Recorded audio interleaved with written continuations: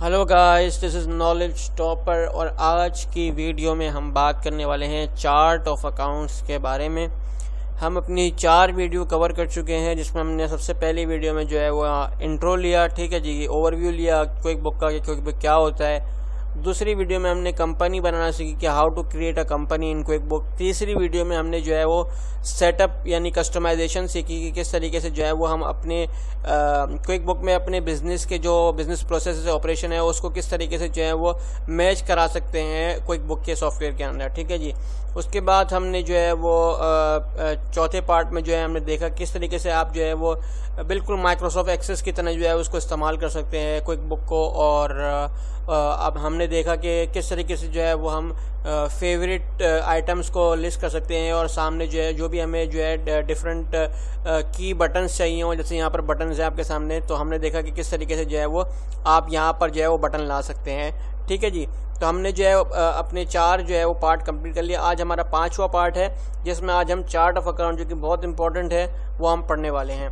अच्छा chart of account खोलने के लिए मैं आपको तरीका बताऊँ कि कहाँ से खुलता है। सबसे पहले चार्ट ऑफ़ अकाउंट खोलने के लिए आप जो है, वो लिस्ट में जाएँगे और लिस्ट में जाने के बाद आप देखेंगे कि टॉप पर ही लिखा है चार्ट ऑफ़ अकाउंट्स ठीक है? आपने यहाँ पे क्लिक कर देना है। जैसे ही आप क्लिक करेंगे तो आपके सामने ये चार्ट ऑफ़ अकाउंट जो है, वो खुल जाएगा बना बनाया खुल जाएगा। ठीक है जी?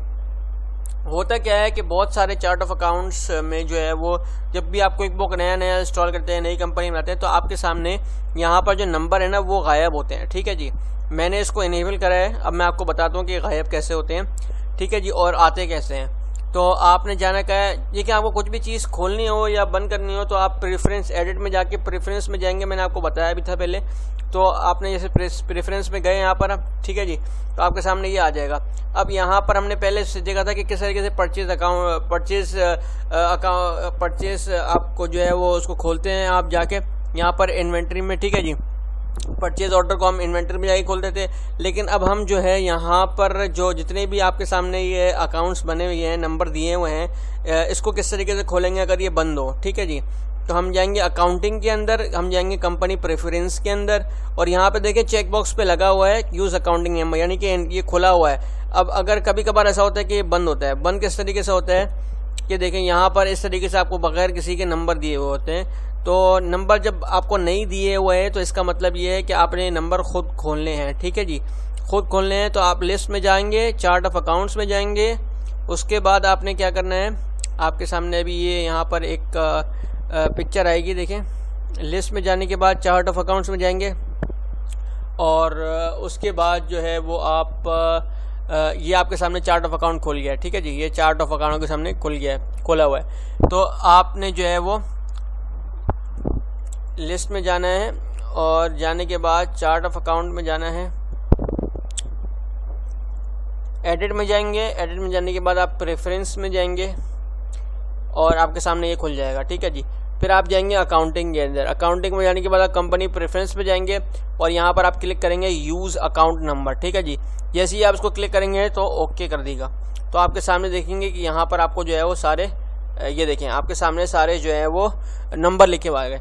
अब चार्ट ऑफ़ अकाउंट का बेसिक पर्पज क्या होता है? चार्ट ऑफ़ अकाउंट की अगर मैं सिंपल डेफिनेशन की बात करूँ तो chart of account is defined as the listing of the names of accounts that a company has identified and made available for recording transaction in general ledger यानी कि जितने भी अकाउंट्स होते हैं, ठीक है जी?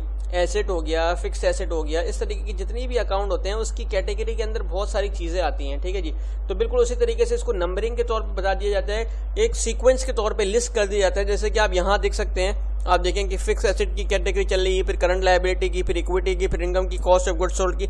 मतलब ऐसा नहीं है कि इनकम एक इनकम आ रही है, एक एक्सपेंस आ रहा है, एक कॉस्ट ऑफ़ गुड सोल्ड आ रहा है, इस तरीके से बिल्कुल सही तरीके से जो है वो ऑर्डर के तहत जो है चार्ट ऑफ़ अकाउंट में जो है अकाउंट्स की लिस्टिंग हुई हुई है। यहाँ पर नंबर पे अगर आप गौर करें तो आपको यहाँ पर नज़र आएगा, जैसे कि आप देखें यहाँ पर कि आपको यहाँ पर इंटरेस्ट एक्सपेंस दिया हुआ है। ठीक है देखिए आपको नंबर क्या दिया हुआ है? Six three three double zero insurance expense six three four double zero interest expense तो इस तरीके से सीक्वेंस जो है वो दे दिए जाते हैं आपको और आप इस तरीके से चार्ट ऑफ़ अकाउंट में जो है अपने अकाउंट जो है लिस्ट करते हैं। ये कुछ अकाउंट जो है, ये आपको बने बनाए आपके कंपनी के नेचर के हिसाब से हमने कंस्ट्रक्शन की कंपनी को यूज़ किया था। तो उसके हिसाब से इसने जो है हमको एक चार्ट ऑफ़ अकाउंट रैंडम सा बना के दे दिया है। हम इसके अंदर जो है वो अब एडिट करते हैं। इसके अंदर अपने जो भी अकाउंट्स हमको चाहिए तो लेट्स से कि यहाँ पर यूटिलिटी का अकाउंट आपके सामने मौजूद है, ठीक है जी? अब मैं चाह रहा हूँ कि भाई ए, कोई भी एक नया अकाउंट चार्ट ऑफ़ अकाउंट में किस तरीके से जो है अकाउंट क्रिएट करते हैं तो आपने कुछ भी नहीं करना आपने सिर्फ़ राइट क्लिक करना है। ठीक है जी राइट क्लिक करने के बाद आप जाएँगे न्यू पर। जैसे ही न्यू पर जाएँगे, अब आपसे पूछेगा कि आपको इनकम अकाउंट बनाना है एक्सपेंस बनाना है फिक्स एसेट का बनाना है बैंक का बनाना है लोन का बनाना है क्रेडिट कार्ड का बनाना है, या इक्विटी का बनाना है। मैं कहता हूँ कि भाई, मुझे एक एक्सपेंस का अकाउंट बनाना है, ठीक है जी? तो मैं कंटिन्यू करूँगा एक्सपेंस पे क्लिक बटन दबा के। तो अब क्या करेगा ये हमसे पूछेगा। अब हम क्या करेंगे? सिंपल अकाउंट नेम जो है, यहाँ पर जो है, वो हम डालेंगे। मैं कहता हूँ कि जी, मुझे इलेक्ट्रिक एक्सपेंस का अकाउंट बनाना है इलेक्ट्रिक इलेक्ट्रिकसिटी एक्सपेंस का, ठीक है जी? इलेक्ट्रिकसिटी और यहाँ पे मैं लिख देता इलेक्ट्रिकसिटी एक्सपेंस का अकाउंट मैंने बनाना है। तो मैंने यहाँ पे इलेक्ट्रिकसिटी इलेक्ट्रिकसिटी एक्सपेंस का अकाउंट का ना, नाम लिख दिया। अब बात को आप देखें कि किस तरीके से जो है वो गौर से इस चीज़ को देखें आप कि यहाँ पर हमारे पास एक चीज़ देखिए नंबर। हमको लिस्ट करना है अपने नंबर को कि हमारी एक्सपेंस की कैटेगरी में ही रहे। तो हमने उस वक्त जब हम कोई अकाउंट बना रहे हैं तो हमने देख लिया एक्सपेंस कौन सा है तो उस हिसाब से जो है वो हम नंबर भी देख लेंगे कि यहाँ पर अगर मैं बना रहा हूँ इलेक्ट्रिसिटी का तो इलेक्ट्रिसिटी यानी यूटिलिटी के पास जाएगा। यानी कि six eight six zero zero लिखा हुआ है तो सिक्स एट हम ले लेंगे six eight seven zero zero ठीक है जी? तो यहाँ पर मैं आपको बताऊँ कि हम दोबारा जो है जाते हैं अपने उसी अकाउंट में जो हम क्रिएट कर रहे थे न्यू पर, ठीक है जी? यहाँ पर हमने इलेक्ट्रिसिटी एक्सपेंस किया था तो अब हम इसको नंबर दे देते हैं six eight two double zero ठीक है जी? और इसको मैं कर देता हूँ सेव एंड क्लोज जैसे ही मैंने इसको सेव एंड क्लोज किया तो आप देखें कि ये six eight six double zero के नीचे आ, हमने किया था तो ये ऊपर आ गया six eight two double zero ठीक है जी? तो हमको यहाँ पर चाहिए था कि हम जो है इसको six eight six double zero के नीचे ही रखते तो अब हम क्या करते हैं कि इसको six eight seven double zero कर देते हैं। Uh, तो मैं इसको जाऊँगा। अब देखिए अकाउंट को एडिट करने का तरीका क्या है? ठीक है जी? मैंने आपको बता दिया कि अकाउंट किस तरीके से अब मैंने गलत एडिट किया था क्योंकि नंबर यहाँ पर देखिए आप six eight six double zero utility के नीचे आना चाहिए था। इलेक्ट्रिक इलेक्ट्रिक यूटिलिटी के अंदर सारी इलेक्ट्रिसिटी का बिल आता है गैस का बिल आता है वाटर का बिल आता है, सब चीज़ जितने भी बिल आते हैं, वो सब यूटिलिटी के अंदर आते हैं। ठीक है जी? तो मैंने जान पूछ के आपको गलत करके दिखाया था कि मैं आपको बताऊँ कि किस तरीके से एडिट अकाउंट किया जाता है। ठीक है जी? वो हमारा बिल जो है, गलती से जो है, वो ऊपर चला गया जबकि यूटिलिटी के अंदर होना चाहिए था।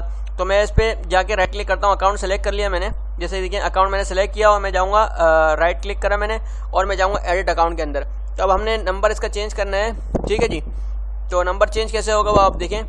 यहाँ पर six eight two double zero लिखा है तो मैं यहाँ पे जाके six eight seven double zero कर दूँगा क्योंकि मुझे उसके नीचे चाहिए, ठीक है जी?